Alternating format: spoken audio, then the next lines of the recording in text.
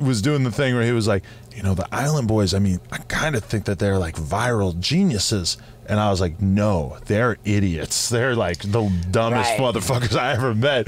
And then they saw it, which somehow in my head at that moment I felt like, oh, I'm a, I'm, I'm talking to another white guy. It's like, there's no hip hop people watching this. I can say whatever I want. I can be totally honest. And then, Well, no, no. right. I mean, Yeah, I- I- that's that. It's it's kind of like saying that Ashlee Simpson was uh, a, a genius for all the publicity she got getting caught lip syncing on Saturday Night Live. Right, yeah. People know, love like- to, to lay that motive down and be like, oh, look, they were trying to make this happen. People love the idea of conspiracies rather than just acknowledging that, like, a lot of things are random and if they happen in a specific order, then odd results might occur or or things that are beneficial might occur because like i had a dude like basically try to rob me and like stick a gun in my face I and and everybody thought it was fake because I didn't get shot. And then what do I do afterwards? I go and do Logan Paul's podcast, and I'm on the news, and I get all these positive things happen from it.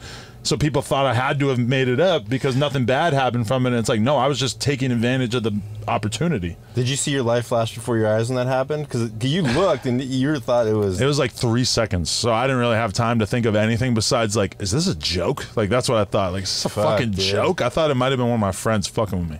I heard about that, and then like, and, and I'm like driving to come see him. Like, like I said, I was uh, typed in Adam Twenty Two documentary.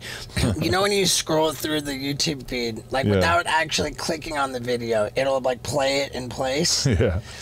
I, one of the one of the videos did, and like the little section of the, the video that played in the feed was you reacting to the guy with the gun on you. Right. And and I thought to myself, man, like it's so crazy how the instinct kind of takes over to like put your hand out like that. Even when, though this like, is not a good way to stop a bullet. yeah. like well, that's what- how you know it's self defense when they're doing like the first 48 because there's bullets through the hand. Like it's like, fuck. Right, right. It's just like that. really? Like, because that's your reaction. That Like, sense. What yeah. defensive wounds are more like with knives and stuff, but yeah. but yeah, it's crazy how your instinct is to put your hand up to stop a bullet.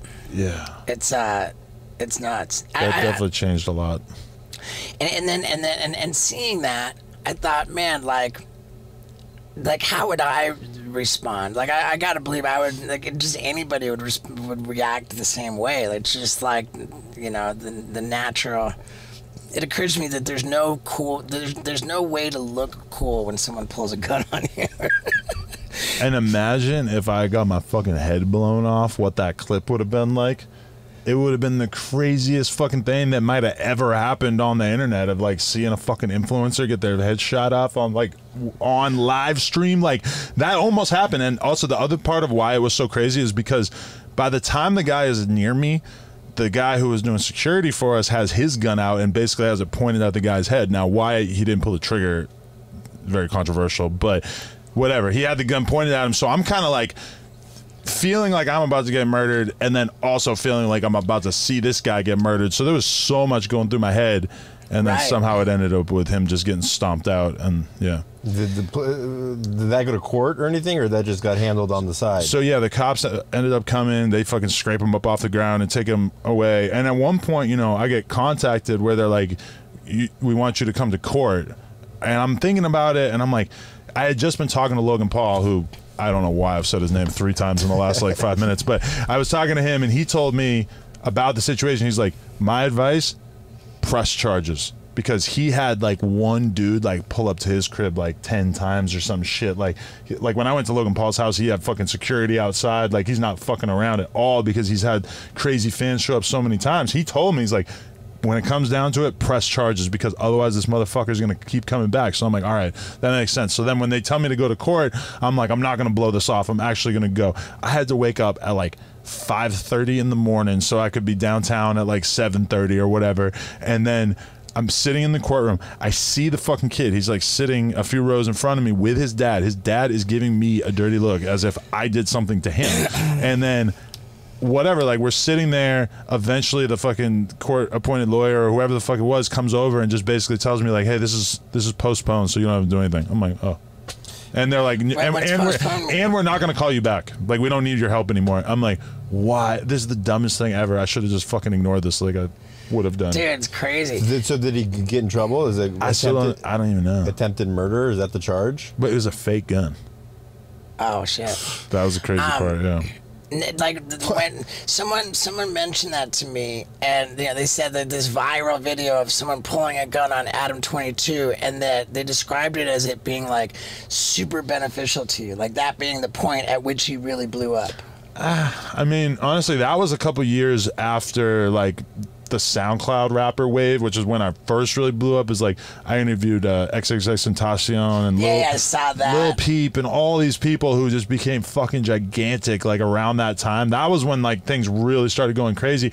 This was a couple of years later, and uh, again, like it was kind of convenient because the business and everything was slowing down a little bit around that time. It wasn't necessarily as huge as it was like maybe a year before, and it did like bring a ton of attention, but also it was like you get a lot of attention like that month and then like Right. the next month you're like back to normal like that kind of shit Right. when you go super viral for something how many of those people are going to actually be like tuned in to watch your shit every week like uh, it, it, best case scenario you have that kind of thing happen to you and you can maintain and like capture Right. a bunch of that uh, audience but that's why when people were like thinking it was fake i'm like you really think that I would fake that and risk my reputation of being and be known as a liar forever for what? Right. For like maybe five or ten grand extra on YouTube ads that month? Like that doesn't make any fucking sense.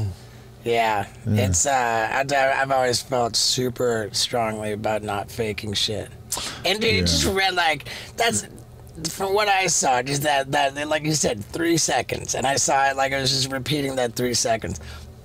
That read very real, dude. yeah. It you're not you're not faking it like that. You know, I mean, why would somebody? I even respect the shit out of it that you've got that footage of like, yeah, this is how that that, that it's so real. I almost finished because like okay that what we were doing is like w- when there was the YouTube ad apocalypse in 2018. I don't know if you were hit really, but we I uh, mean, dude, I was already like like not ad friendly. Right. So. But we like I I remember right when that happened, I was making maybe like fifty grand a month off YouTube, just putting out so much shit, and all of a sudden it became five grand a month, and that's when I was like. Oh fuck! Like I gotta actually figure out all these other revenue streams that I haven't really like touched on yet. Like we gotta start being more serious about merch, and we gotta be more serious about like I, I had I had heard about people streaming, and I was like, well maybe I can just stream, and so I start streaming, and then people start being like, yo, here's 10 bucks, listen to my song. And I'm like, all right, well, gave me 10 bucks. I got to listen to a song. That like spiraled out of control to the point where I was like, all right, I got to charge more. I started charging like 50 or 75 to 100 bucks like to listen to their song. And it just kept coming in. And all of a sudden, I was making like almost a 100 grand a month off just listening to people's music on live stream, like a 100 bucks at a time, which that is a thousand songs a month, which sounds fucking kind of depressing to listen to that many fucking random SoundCloud rap songs. But that was what saved me when the apocalypse happened. And that's exactly what I was doing when the guy came in with the gun is I was sitting in the back of the store with a couple people smoking blunts and watching fucking uh, people's music. Clip was awesome, but not as awesome as my new book, A Hard Kick in the Nuts What I've Learned from a Lifetime of Terrible Decisions, which is out September 27th. And if you pre order it right now, you can get the autographed copy. So get on it, man. Pre order my book. It's not to waste your time because I'm proven, dude. New York Times bestseller. My first book's five star rated on Amazon. And I have no doubt this one will be too. So get the autographed copy right now by pre ordering it at steveo.com. Yeah, dude.